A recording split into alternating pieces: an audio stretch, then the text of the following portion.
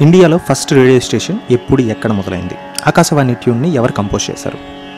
ఆకాశవాణి అన్న పేరుకి అర్థం ఏంటి ఇండియాలో ఎన్ని ఎఫ్ఎం ఛానల్స్ ఉన్నాయి? ఇలాంటి ఇంట్రెస్టింగ్ అప్డేట్స్ని మీరు మళ్ళీ మిస్ అవ్వకుండా ఉండాలి అంటే నా ఛానల్కి సబ్స్క్రైబ్ అవ్వండి.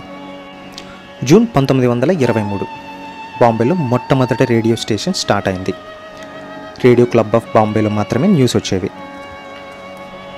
పంతొమ్మిది వందల ఇరవై ఏడులో బాంబే అండ్ కల్కట్టా మధ్య బ్రాడ్కాస్టింగ్ జరిగింది. రేడియో ఇండియాకి రావడానికి ఇండియన్ అయిన జగదీష్ చంద్రబోస్ గారి పాత్ర చాలా ఉందని చెప్పాలి. రేడియో మీద చాలామంది చాలా పరిశోధనలు చేశారు. వారిలో మొదటి ఆలోచన ఎవరిది అంటే ద గ్రేట్ సైంటిస్ట్ అయిన నికలో టెస్లది. తర్వాత అలెగ్జాండర్ పోపో ఇండియన్ అయిన జగదీష్ చంద్రబోస్ మార్కోని. వీళ్ళందరూ ఒక్కొక్క దశలో రేడియోలో చాలా మార్పులు తీసుకొచ్చారు. కానీ నోబెల్ ప్రైజ్ వచ్చింది మాత్రం మార్కోనీకి. మీరు ఇంకా రేడియో గురించి తెలుసుకోవాలి అంటే రేడియో గురించి ఆల్రెడీ ఒక వీడియో చేశాను. ఆ వీడియో లింక్ కింద డిస్క్రిప్షన్లో ఇచ్చాను. ఆకాశవాణి ట్యూన్ని కంపోజ్ చేసింది వాల్టర్.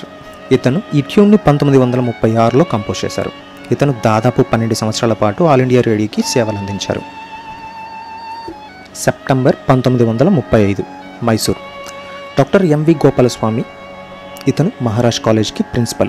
ఇదే కాలేజీలో సైకాలజీ ప్రొఫెసర్. యూనివర్సిటీలో థర్టీ వాల్స్ ట్రాన్స్మిటర్ని సెట్ చేసి ప్రైవేట్గా రేడియో స్టేషన్ని నిర్మించారు. గోపాలస్వామి తరచుగా ఆకాశవాణి అనే పదాన్ని బ్రాడ్కాస్టింగ్లో వాడుతూ ఉండేవారు. ఆకాశవాణి అనే పదం సాంస్క్రిట్ నుంచి వచ్చింది. ఆకాశవాణి అంటే వాయిస్ ఫ్రమ్ స్కై అనే అర్థం వస్తుంది. భారతదేశంలో చాలా తక్కువ సమయంలోనే రిసీవర్ల సంఖ్య పదహారు వేలకు చేరుకుంది. పంతొమ్మిది వందల నలభై ఏడులో మనకు స్వతంత్రం వచ్చింది.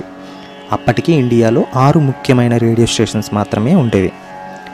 పంతొమ్మిది వందల యాభై ఆరుకి నాలుగు వందల పదహైదు రేడియో స్టేషన్లతో పాటు ఇరవై మూడు భాషల్లో ప్రసారాలు జరిగేవి. పంతొమ్మిది వందల యాభై ఏడులో Akashvani all India radios on air అని నామకరణం చేశారు.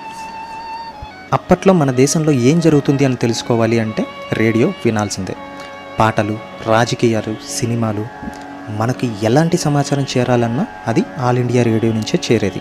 The ministry of broadcasting list ప్రకారం ఇండియాలో ఎనభై ఆరు ఎఫ్ఎం ఛానల్స్ ఉన్నాయని చెబుతుంది. నెక్స్ట్ వీడియోలో దూరదర్శన్ గురించి చెప్తాను. ఆ వీడియో మీరు మిస్ అవ్వకుండా ఉండాలి అంటే నా ఛానల్కి సబ్స్క్రైబ్ అవ్వండి. ఈ వీడియోని ఫేస్బుక్ అండ్ వాట్సాప్లో మీ ఫ్రెండ్స్కి కూడా షేర్ చేయండి. This is Ravi Shastri. Thank you for watching.